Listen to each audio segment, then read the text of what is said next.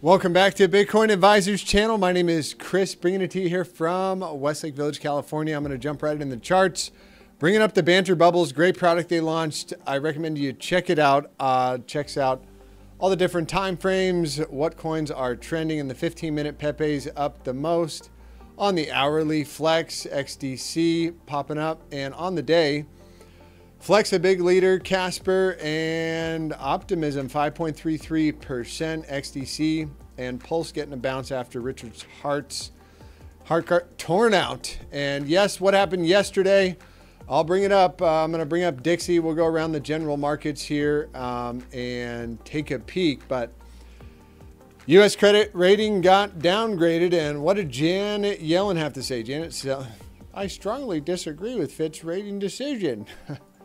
and Jamie Dimon said, oh, I'm not worried about it. And Warren Buffett said, well, he didn't, he said something like, I'm not worried about it as well. But I saw this this morning.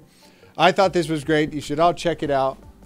What did Warren Buffett said? He said, I can fix the national debt problem in five seconds by doing what? Let's hear what yeah. he says himself. This is Warren Buffett, $100 billion guy. Here's what he says. Go for it. Dude, these problems are, are problems that have built up over decades, and there hasn't been a Congress that's been mature enough or a president that's been mature enough to take this head on. I, I can end the deficit in five minutes. You just pass a law that says that anytime there's a deficit of more than 3% of GDP, all sitting members of Congress are ineligible that's for re-election. That's accountability. The curse right. word in America the last 30 years has been accountability. If we can bring accountability in hospitals, in con. I think he's got a great point. Warren Buffett had something good to say for once. Just kidding here. Uh, stacks, and here's what you're hoping for on stacks. Uh, stacks, you're hoping that you do not take out this low right here. As long as that low is not taken out, well, pressure's on to the upside. At least on the four-hour time frame. I'm going to bring it up for a quick one today, guys, because I don't have a lot of time here, but we're still in the four hour range, right at 29,200. And we did hold the daily pivot back from yesterday. We said, hey, as long as 29,150 holds, well, the line in the sand has been hold, has been holded. Um, and, uh, you know, momentum is to the upside. We'll cross down today below 29,084. I would be aware of that. Uh, momentum is going to flip down below 29,084. I'd say that is now the pivot on the market and the four hour time frame. You know, looks like more consolidation. Honestly, I, I, I could see it flipping around here for a little bit longer as uh, volatility is declining on the four hour. And the one hour says, um, well, says a little bit more upside action here.